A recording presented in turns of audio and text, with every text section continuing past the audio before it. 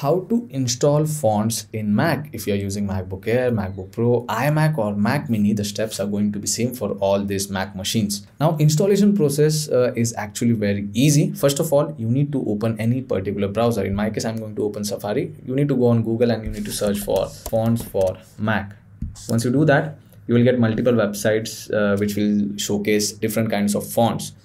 Now, what is fonts? Basically, if you go in pages, uh, now currently you can see uh, I have written some text over here. And if you want to change the font there are already pre-installed fonts in the Mac system. So you can just select the text and over here in the font you can just simply you know change the font type. So let's say if I select impact you can see the letter styling has been changed. Now it has gone to bold right? Even after that if I select this font you can see each font has different text style. So you can use uh, either the you know inbuilt fonts which are already there or else you can install it. So back to the process. Once you search for fonts for mac you can select any particular website and but uh, each and every website will showcase different kinds of font. Now there are multiple fonts over here on this website right? So uh, if you open this warsaw gothic in that it will showcase different kinds of font like it has regular style it has 3d style. Huh? there are different kinds of style over there in that particular font.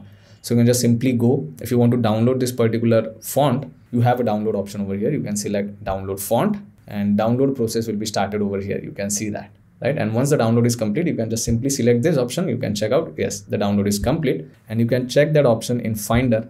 You can go in downloads and this is the font which we have downloaded. And as i told you it has multiple style. If you open this folder you can check out all the available styles for that particular font. Now if you want to install font after downloading it either you can go in that particular folder and you can double click on the font and it will give you a pop-up. Now by default you can see at the background uh, font book has opened. We'll come to that later. Now when you double click you get this option. So you can uh, select if there are different styles available over here. You can select the styles and then you can simply uh, select install option to install that particular font. But as i said if you want to uh, install the complete folder you can just go back. You need to open font book now. So you can find that option in launchpad over here. So let me minimize all this. Over here you can open launchpad. You can find that option in dock or else you can press command plus spacebar look for launchpad. Once you open launchpad in the search bar you can look for font book. So this is font book. You can open it.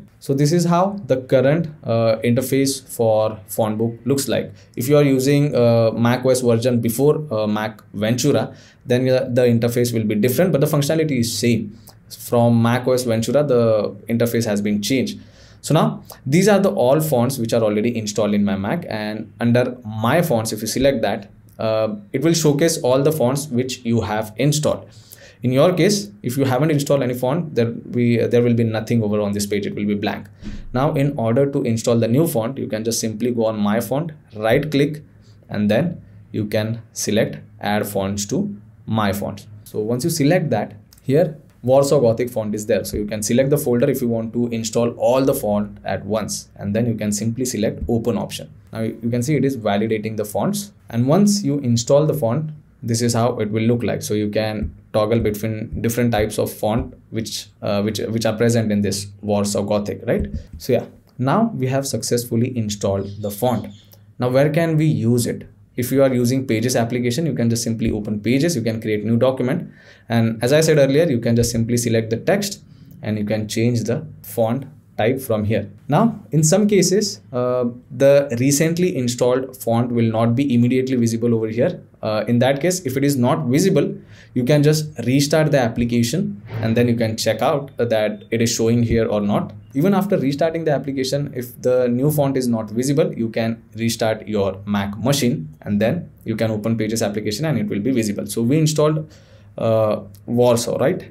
So we'll look for it warsaw gothic is not uh, you know visible for now. So we'll restart the application. So we'll go back to pages create new document.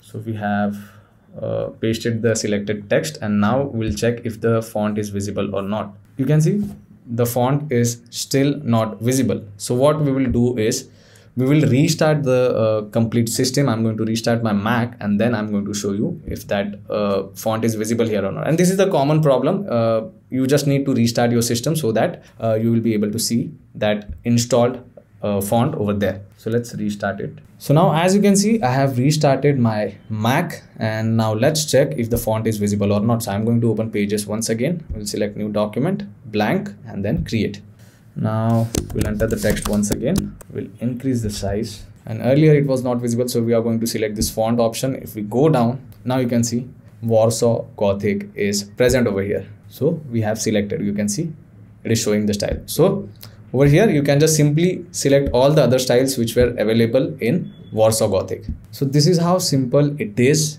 uh, to install font in your Mac. Now, if you go back to Safari or any particular browser, let's go to Google once again and let's search for fonts for Mac and let's go back to the same web, uh, website.